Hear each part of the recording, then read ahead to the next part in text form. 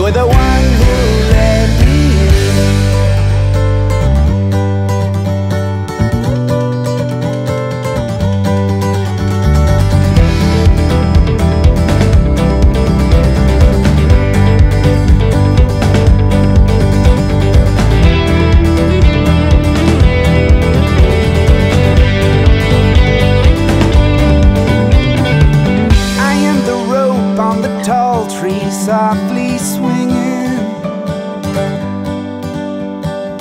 Mine not so firm and tight. So please just hang on